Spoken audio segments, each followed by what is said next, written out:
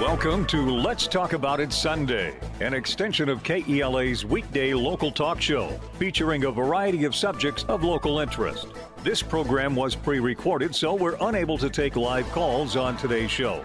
And now, let's talk about it.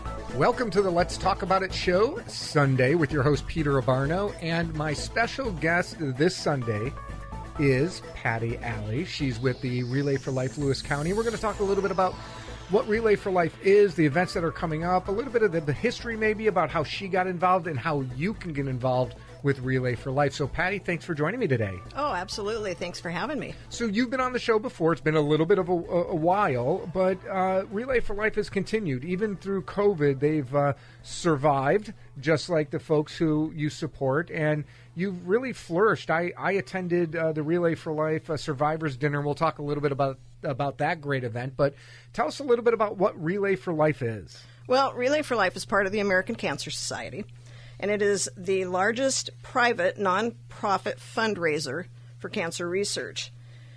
American Cancer Society to date has invested more than $5 billion into cancer research. And that's just as you know, a ton of money for cancer research. It's helped so many people. Yeah, and it almost seems like uh, you can never have enough money in cancer research because there's so many different kinds of cancers and it affects people so differently. Exactly. There's a hotline that the ACS has, um, 1 800 227 2345.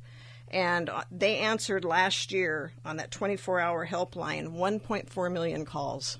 Yeah, and it's and it's and it it's going to be very hard to find an individual who either hasn't been directly impacted or knows somebody who has been directly impacted by by cancer. Absolutely, absolutely. You know somebody, I know somebody, the guy next door knows somebody um, somebody's got a dog or a cat that's been affected by cancer. Yeah. Cancer hits us all. It, it, it does. And so tell us a little bit about, um, you know, how you got involved with Relay for Life. I got involved in Relay for Life back in the 80s. Um, it was at the high school in Chehalis. And I was working for an employer at the time that said, hey, you know, if you guys want to get a team together, go camp out overnight. And we're like, yeah, we're a bunch of young punks. We'll go do this. This sounds like a lot of fun. We can party all night in this tent and uh, have a great time over at the high school in Chehalis, and let's let's see what kind of trouble we can get into. But that wasn't what happened. What happened was we watched these people that were fighting cancer walking around this track all night long, and we watched a luminaria ceremony, and it just tore our hearts out that you know we thought as you know these young kids that we had it all together we were in our 20s figured, yeah, you know, this isn't going to affect us. And it did. It was such an eye opener when we saw these people walking around supporting each other, having fun while they were doing it, and the money at the end of the day going to a great cause. And now, when we talk about Relay for Life, it really truly is a, a relay. It's a walk. And a lot of people kind of maybe don't make that connection. Uh, tell me a little bit about what this relay is. So, Relay for Life Gordy Klatt founded Relay for Life up in Tacoma. And Gordy was a, a uh, physician. And Dr. Gordy said, There's got to be something more we can do for cancer. We've got to be able to fund some more research and do some more things. So Dr. Gordy, on his own, went down to a track and started walking and had told some of his friends, I'm going to go down and I'm going to walk for cancer research. And if you guys want to support me, great. If you don't, I'm still going to walk and I'm going to find people to support me. By the end of Gordy's 24 hour walk, he had hundreds of people with him and raised all the money that he set out to raise plus a little bit more. I don't have that dollar amount, but I know it was the very first relay. Gordy did it 24 hours, and that was how we started. So, with with such a simple idea, um, it just created this huge nationwide and probably worldwide phenomenon of Relay for Life. It money. did, it did, and and Relay is in other countries. It's not just over here in the United States. It's in other countries. It's embraced all over the world, and it is. It's a it's a great fundraiser for research. People do go out and walk the track all night, and that's one of the cool things about Relay for Life is it's a community coming together for a purpose. And by the time you get there, if it's your first relay, within 15 minutes, you're not a stranger to it anymore. You've got yourself a family of friends. Yeah, I mean, it's really amazing to see how everybody comes together and supports each other uh, as part of Relay for Life. Now, the Relay for Life locally is May 20th. Is that correct? That's correct, May 20th. And this year we're doing it at the request of some of our groups that have come back after COVID. We were requested to shorten our event instead of being 24 hours like we've always done it. We thought we would try a 12 hour event and see if we can get more people to participate. We're still growing and building after COVID. Yeah. So this year we're going to do it from 10 a.m. to 10 p.m. We'll we'll start the sh- the uh, opening ceremony at noon, and we will end the show with our traditional fireworks that we have only here in Lewis County. And that's pretty amazing. So it's on May 20th, but if somebody wanted to get involved, um, so I, I know you mentioned teams. So tell me about these teams, because if you go online uh, to the website and you look at the events and you go on Facebook, there's like all these teams that are set up. So yes, we have um, we have a, a, a site. You can go to secure.acsevents.org and sign up a team. Just look for Lewis County Washington Relay for Life and sign up a team. You pick your team name. You can use your neighbors, your friends, your family, your coworkers to get a team together. There's no minimum amount to raise. We ask that you know everybody raise hundred dollars if they can. If you get 12 people on a team that raise $100, that's $1,200. Right. And how hard is it to raise $100? I mean, seriously, even today after COVID and, you know, people just getting back to work and stuff, it's easy to raise $100. Especially for a cause like this. Exactly. Yes, exactly. Right now, um, our goal is $30,000. And as of the night of our survivor dinner, we're $11,000 short of that goal. We're already way over the mark. So Good. we're thrilled. We'll- make goal this year, one way or the other. Well, and so you can create a team, or can you just join a team? Like if I went online, and I know I found it just by going uh, Relay for Life Lewis County. It's all I typed in, and it popped up. Um, I saw you have a team. Yes, Uh, Braden has a team. Braden has a team. Uh, and and and there's uh, how many teams? It looks like there was like uh, there were a lot. I think we've got 12 teams now, 12 to 15 teams now, and and uh, yeah, my my team crazed for a cure um, just kind of goes along with my personality because I'm I'm not stopping. I'm not Yeah. stopping anytime soon, and. Uh, Braden's got his Kraken board shop team because the boys, you know, they started doing relay with me, my grandkids, when they were like four years old. Yeah. So it's kind of embedded into them too, and they understand that you know cancer's out there, and they're going to help. And it becomes. And you mentioned uh, Braden. T- tell tell the folks who Braden is. Uh, Braden's my grandson, owner of the the Kraken Board Shop in Centralia. Yeah. In 2019, Braden had a accident, longboarding. That's his passion, always has been his passion, and uh, his story is on King Five. If somebody wants to Google him, but he was going down a hill here locally, uh, full face helmet on, and uh, took some speed wobbles going down Centralia Alpha Road uh, head over heels multiple times and ended up being life flighted from here. Uh, he was. We were told that he was given less than a ten percent chance of waking up from surgery. Today he's a miracle. He's an entrepreneur. Today he's he's a business owner. That's right. You know, got Kraken Board Shop over at the skate park in Centralia. So real proud of him and and the efforts he and the family. You know, his mom and dad. You know, they're right behind me with Relay for Life. Uh, my son helps with the fireworks out there, so it's Well, a and- family thing too. And like, and, and, and you bring it up, uh, Relay for Life is about family. It's about relationships, and you instilled in Braden and others, uh, your friends and family, this passion to give back through Relay for Life. And Braden, despite his um, accident, right, and his own struggles, he continues to give back. I mean, that that's a real testament to him and, and you for what you instilled in him. Yeah, he's he's community minded. It's not just Relay for Life. It's also the Forgotten Children's Fund. You know, he's he gives to that. He gave to that when he was still just doing his business online and still in high school. So that's the thing. You start him young, and they learn to appreciate the values of community, family, and friends, and, and giving back to the community that's given so much to you. Yeah, and and, and, and that's something that I try to instill in my children. Um, and you mentioned um, a really very emotional aspect of Relay for Life, which is the luminary. The Luminaria. Yeah, I mean that to me. uh, I, I mean, I bring my children when they were really young. They, I don't think they appreciated it or really understood it. They do now, but boy, talk about it. It's probably one of the few times that I, I don't get emotional, but there's one of the few times in a year that I'll I'll start shedding tears, and because it's such an emotional a, a part of the event. Yeah, the Luminaria ceremony. We've changed it up. We've done different things through the years, and each time we do it, it's still impactful no matter what we do because you're walking around a track and you're looking at all these bags that have Aunt Susie and, and Brother Bill and Uncle Barney on these bags. And you know it's a life that has either been lost or is in treatment for cancer.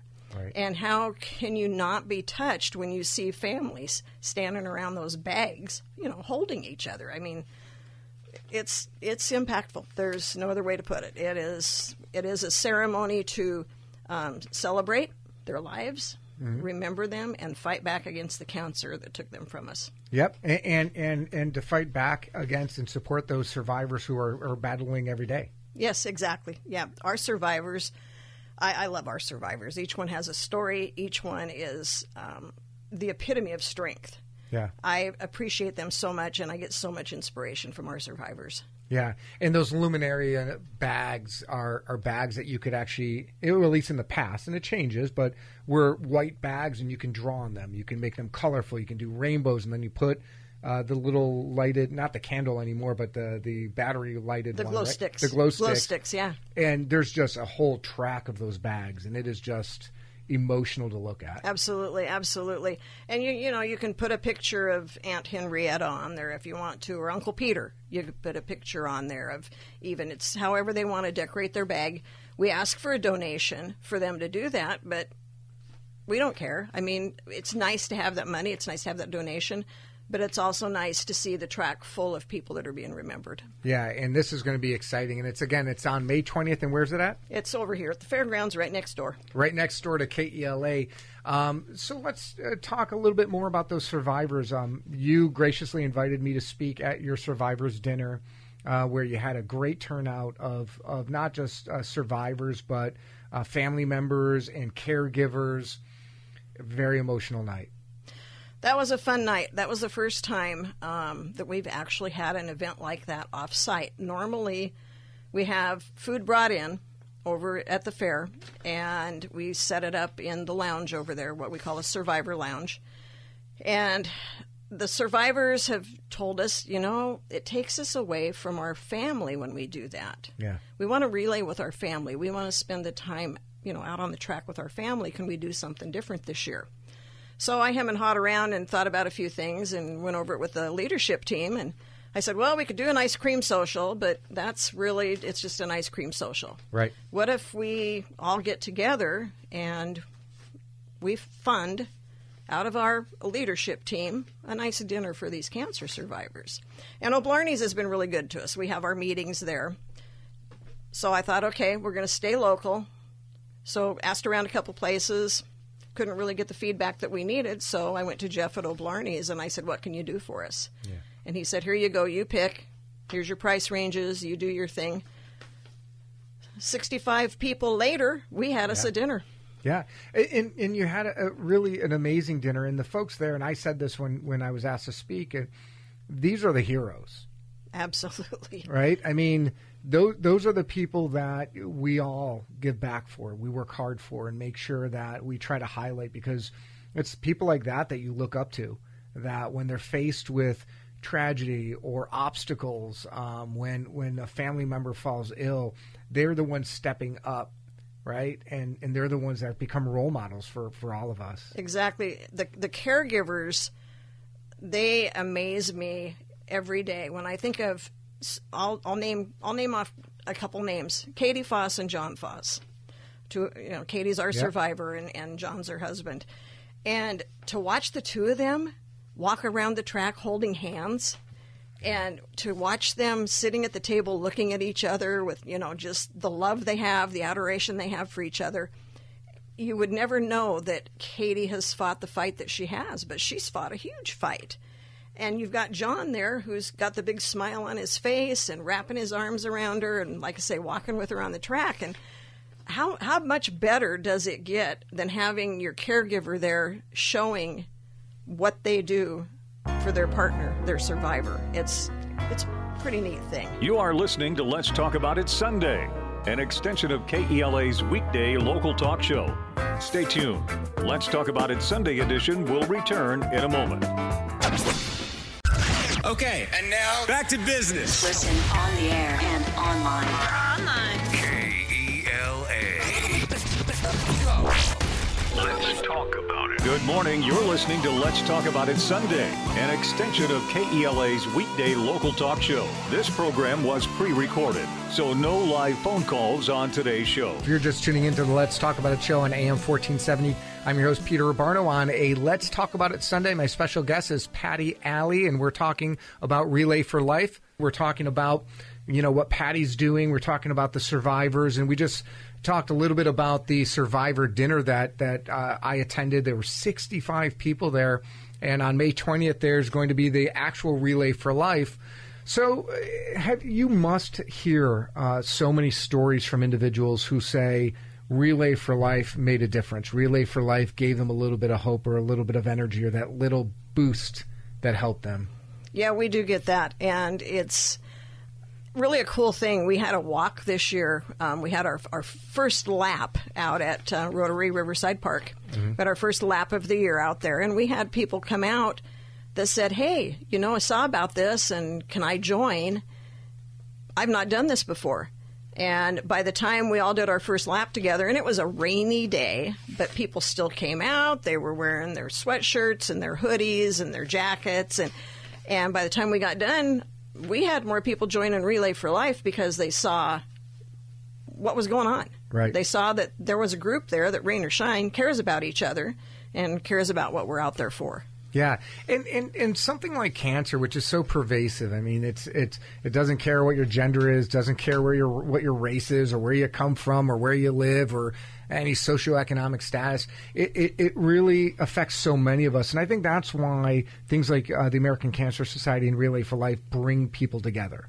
Um, it really because it brings people in from all walks of life. It does. It, it truly does. Um, I met an incredible family, the Markstrom family, that joined us, and they just they light up the room. They lost Noah, Yeah. but they light up the room when they talk about him, and they don't want the cancer to define Noah. They wanted Noah to define Noah, and they've done a great job of that.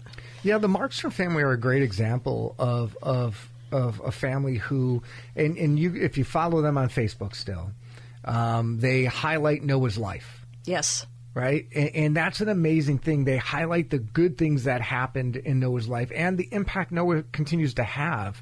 And I have to believe that that's uh, mostly the Markstrom family, and, and they're they're great folks. But it's also the community that they've kind of weaved themselves into and integrated with. And I'm sure the American Cancer Society and Relay for Life had something to do with that as well. I would like to think so. I really Right. would. Um, they were, you know, they were part of Relay for two, three years, and it was a pleasure having them there. We honored them um, at the Eternal Flame this last year, Yeah. and the Eternal Flame is, you know, during grand during the opening ceremony, we have a special family that has touched a lot of hearts and a lot of lives, or a special person that has been lost to cancer or is fighting cancer, and we honor that person at opening ceremony with the eternal flame and the family and the family lights the flame. And it's just it's just a pretty cool thing to see the community behind that and the family the extra family members that come out. And we do have an amazing community, right? yes we do. We have a crazy crazy community here and it's nothing less than awesome And a lot of us have lived in other places. I've lived all over the, the country, and it, it, this place is so unique in the way it people lift each other up. I mean, you can complain all you want about certain things that go on, but generally speaking, we have the most giving community I've ever seen.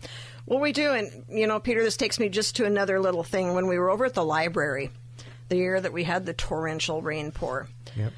there were homeless people living up in the gazebo at the library. And we moved in to take over the gazebo.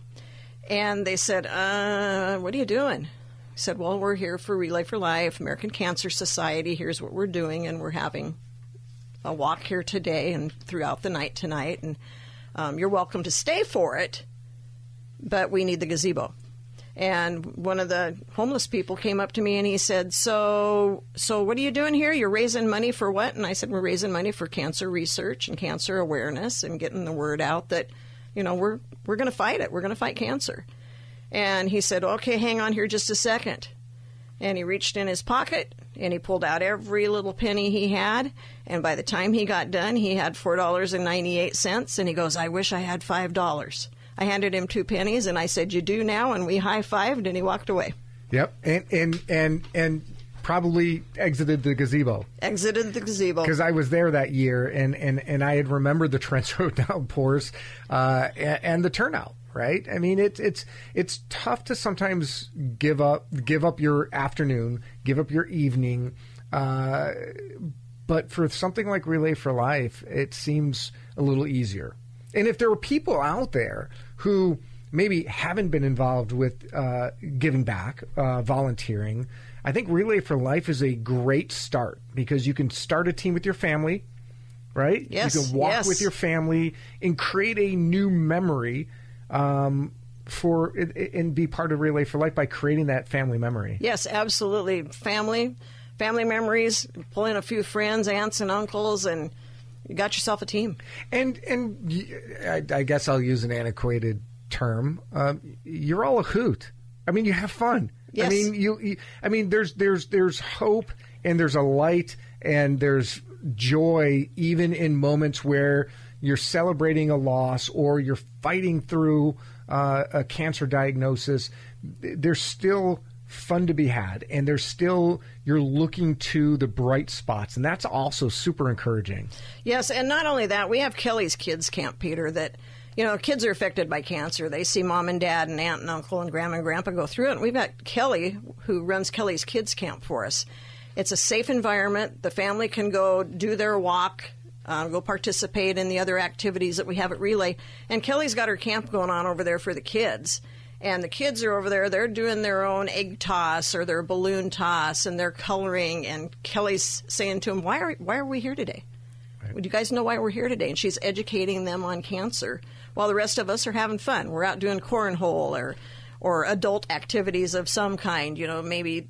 Um, our dessert auction that we have, Yeah. our dessert auction that we have gets absolutely insane the amount of money that people will pay for a Julie Iverson berry pie. I mean, you can get five hundred dollars out of one of Julie Iverson's pies, and it's at the snap of a thumb, uh, you know, Yeah. your fingers. Um, we've got a great auctioneer, Nicole Woolsey, who was with us here for Relay. She's now up in Thurston County, and she's a what I call a big person for American Cancer Society. I can go to her for anything I need, but she doesn't get away from our dessert auction. She's our auctioneer every year, and uh, as long as we're having relay here, Nicole will be here trying to sell you brownies for two hundred dollars. Those are some expensive brownies, but for a good cause. You know, the other thing that we can talk about as well, which is really um, for folks who maybe don't want or don't or can't maybe walk around the track for Re- Relay for Life, you can still go and participate in terms of you can go say hi, you can donate. And I would imagine you won't turn down any corporate business sponsors as well. Oh no, absolutely not. We love our corporate business sponsors and happy to talk to them. Happy to take their money. I mean, Yeah. it goes for a really, really good cause. They're welcome to come out, and uh, they, if they don't want to give money, they can donate to our silent auction that we'll have that night. Well, and it's tax deductible too. There you go. It's uh, so uh, you so as part of the Relay for Life event, you have the the relay, which is the walking around, but you also have a you have the the auction. You have a silent auction. What type of auction items do you look for? Uh, we're looking for absolutely anything that will bring in money. Yeah, anything, How- Anything. like money. Anything, yeah, yeah. You want to auction off a five dollar bill for a hundred dollars? You can do that. But you can do gift cards, you can do gift card trees, you can do gift certificates. Yes. You can probably donate, you know, if you want to put a basket together. yes, we'll take baskets. We'll take yeah, we'll take baskets. We'll take goods and services. Yeah. You know, if somebody wants to uh, auction off pressure washing somebody's house, Right. yeah, we'll we'll take it all. And I know I know my law firm has done uh, the uh, estate planning package almost every year. We've donated a certificate for, for a couple to get estate planning uh, done, and I think that's also equally important during during these auctions. So if somebody wanted to, for instance, uh, create a team, they can go to the website. What was that website again? Do you know? The website is secure dot secure.acsevents.org. Okay. And then just type in Lewis County, Washington. Because there is another Lewis County that has a, an event. And and of course, I, the way I found it was I just typed in Lewis County Washington Relay for Life, and it just popped up. Yeah, you can do that too. And if somebody wanted to, for instance, I'm a business, I want to donate money, I don't want to start a team, I don't want to donate through the secure thing, I want to donate a basket. How would they get in contact with with someone like you or someone from the board? All they need to do is give me a phone call, 360 827 2312, and I'm happy to help them get that basket over to the event. That and that's on May 20th. And when does it? Uh, it was from 10 a.m. 10 a.m. to 10 p.m. We will have grand opening ceremony at noon. Yeah. And are you starting to get a lot of uh, folks starting to contact you and start talking about it as we get closer? Because May, right now, the weather looks sometimes bad. It's rainy. It's kind of cruddy. But May 20th, the weather should be nice. May 20th, the weather should be a lot better because it's dumping all of it on us right now. So I'm thinking by May 20th, it's going to be a pretty good thing. And it's also Armed Forces Day. I have to Oh. have to point out, you know, we welcome our veterans. Anybody in the armed forces that want to come out for relay and be honored, come on out. We'll we'll hook you up at opening ceremony and uh, we'll say thank you. And you can never have too many teams, right? No, never have too many teams. Yeah, you said there's like 12 or 15, but but if somebody said, hey, I, I want to start my own team, maybe just the four of us in our house, or, or we want to do it at our office, people can sign up. Absolutely, absolutely. We'll we'll take anybody and everybody that wants to sign up. Do you know who's uh, which team's in the lead right now? I don't want to say because it's not mine. It is not yours. Are, we- are you in the top three or four or five? I'm in the top three. But you're busy organizing, so maybe that's the reason why. Oh, that's a good reason. Yeah, I like that. I like that, Peter. Thank you for that. Well, I'm, I'm trying my best. So, uh, you know, Patty, I really appreciate you coming in, talking about Relay for Life, talking about the Ma- American Cancer Society. If you wanted to, to leave people with just, you know, some last parting words, I mean, what would you say to, to, to our audience? We want to be able to give our cancer survivors and anybody that has lost someone in their family, we want them to have hope and we want them to have peace. And they, we want them to know that they can come to us and be part of the group and let it all out. Yeah. We're here. Let it all out in, in and for an amazing community. And, and Patty, thanks for coming in today. Thank you for having me. You're listening to Let's Talk About It Sunday. Up next is Fox News, uh, followed by Fox News Sunday with Shannon Bream here on AM 1470. My guest uh, today was uh, the great Patty Allee with Relay for Life and the American Cancer Society. Thank you for tuning in to the Let's Talk About It show again here on AM 1470 and streaming at KELAAM.com.